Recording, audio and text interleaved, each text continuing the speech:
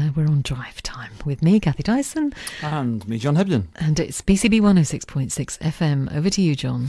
Okay, so um, I'm no historian, you understand, but I believe that the uh, British Civil War was the beginnings of parliamentary democracy. Some people think that parliamentary democracy is crumbling at the moment and may only last a few more weeks.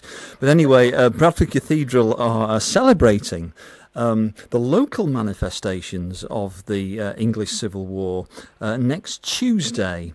Uh, with a special um, uh, day of activities. I'm very pleased to say that we can speak to uh, Maggie Myers, who's the Director of Education and Visitors at Bradford Cathedral, about that day. So, good afternoon to you, Maggie. Good afternoon, John. So, what, what are you up to next Tuesday? Um, well, in the holidays, we usually have a day or two in the school holidays where families can come into the cathedral and do activities between 10 and 2.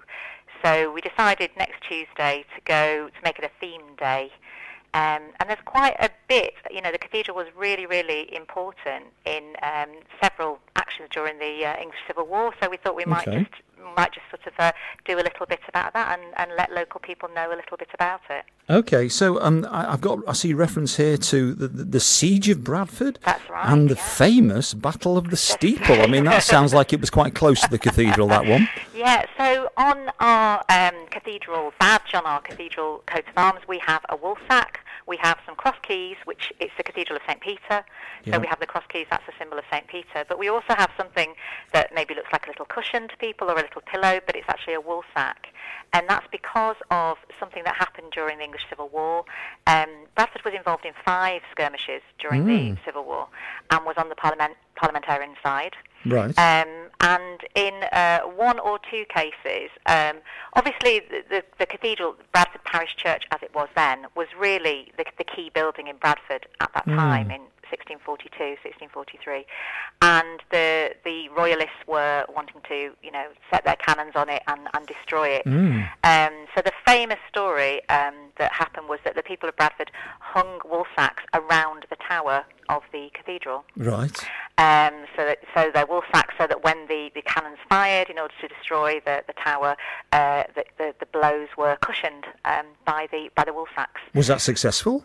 So well at that particular time, yeah, yeah, absolutely. Oh, yeah. So great. Good thinking the by tower was somebody, Not, yeah. Absolutely, the Yeah. tower was not. They didn't have much uh, in Bradford, but they had a lot of wool at that time. Okay. didn't have a lot of guns or cannons, Yeah. but they had a lot of wool. So it was very, very good thinking. Yeah. So they, they strung up lots and lots of wool sacks all around the tower that you that you still see today. That's there. Yeah. And um, yes, on that particular occasion, uh, it, it was successful.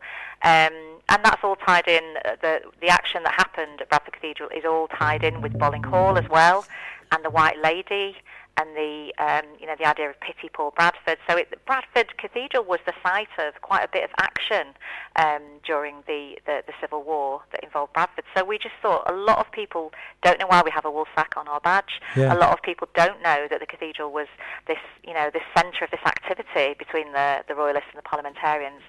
So we thought, you know, why don't we why don't we tell the children and the families of Bradford a little bit about that? So, are you going to be firing cannonballs at the uh, at the, at the cathedral well, on Tuesday? as it happens, um, no, we've got a cathedral festival on the 15th of June, um, and that's an open door event here. Um, so that's a, a, a different thing that I, that I came on to talk about. But that's something coming up where we've got um, sort of some uh, people from a reenactment society coming Okay. um, to talk about what happened. Um, they can't actually do a reenactment now because um, with health and safety laws as they are now, Yeah. this, the site itself is too small Right. to actually have any proper reenacting. But it has been, it was done in the 1990s, I believe. Um, and we have some lovely photos of the last time there was a proper sort of reenactment. And they did hung, they did hang wool sacks from the towers. Yeah. So we are hoping that we might hang some wool sacks up on the 15th of June. Okay, that, that's all the fifteenth of not June. We, we, we, the, the the news is the five o'clock news is pressing us, Maggie. Right. Um, so just give us a quick rundown on what's happening specifically on absolutely. Tuesday, then. So on Tuesday, you can come in anyway with your children, whether you want to do Civil War stuff or not. There'll be colouring. Right. There'll be lots of explanations. I will do guided tours um, at 11 and 1, and I'll really sort of pick out the Civil War stuff, but also show them other historical stuff.